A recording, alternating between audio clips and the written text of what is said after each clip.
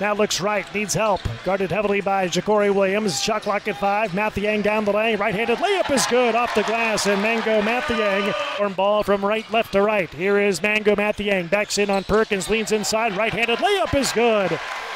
Mangok Mathiang, his second basket, his fourth point of the game. Just the start of the second quarter of play.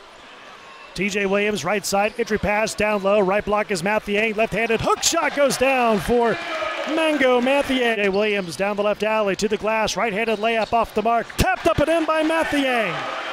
Mathiang has four field goals, eight points, and a timeout taken. The pass left wing to Holland, drives left baseline, stops, leans inside, shot partially blocked by Mathi- Mathiang, controlled the miss by Henderson.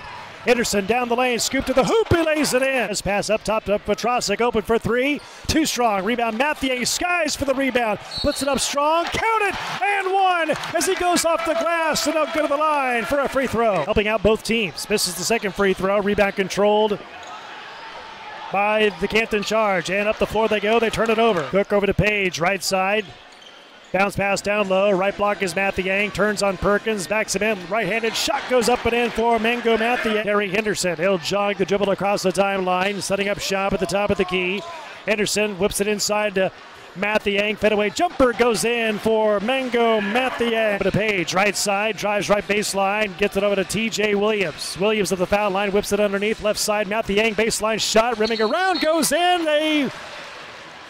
Here's Page. Top of the circle. Gets it over to Cole Huff. Bounce pass down low, right block as Mathiang leans inside against Ja'Cory Williams and scores.